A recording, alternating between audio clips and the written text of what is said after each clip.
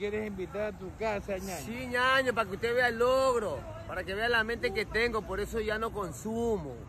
Ya no Porque con- ya tengo una casa donde invertir. Pero siempre tenías una casa. pues, No, ñaño. no tenía casa, no, casa propia nunca tuve ni un terreno, ñaño. Nunca No. tuve, fue prestado, fue prestado hasta que se dio. Y mi, y- y mi suegra, gracias a mi suegra, donó un pedazo de terreno y ahora sí, eso es de mi mujer, de mi hijo y ahora sí puedo Pero si construir. tu mujer no es tuyo, cualquier momento una, un pito te bota. Pero ya, pues de todas maneras, todo esto aquí es prestado, pues. Por lo menos tengo aquí construirle. Te botan, en un pito te botan. No me van a votar. Lo mismo que le pasa a usted. Claro, cualquiera lo botan. ¿Sabes qué me río yo de la nota? Que a todos nos pasa esa nota.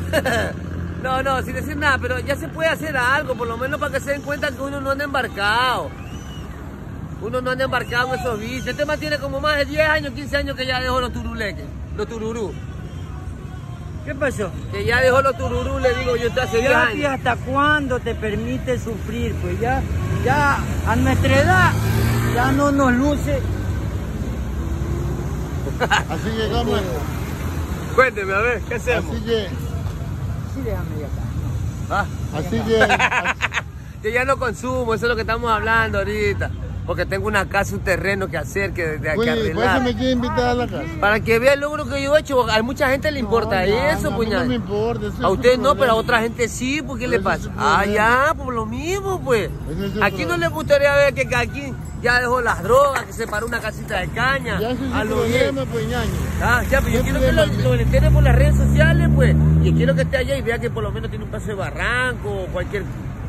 ¿Y dónde- vive? Bien Yo vivo en la revancha en Manta. Bien al fondo. Bien, no, no tanto, pero por ahí más o menos. Ya bajé del fondo. Ya bajé del fondo, ya no estoy en el fondo, estoy más arriba, estoy nivelado. Ay, ay, ay, Sí, chévere. pues, Imagínate que hasta el teléfono lo he cambiado. Oye, ¿y tu esposa? Ahí está, ahí está, está en la Ya no casa. la cela conmigo. Me cela con otras personas a mí la cosa.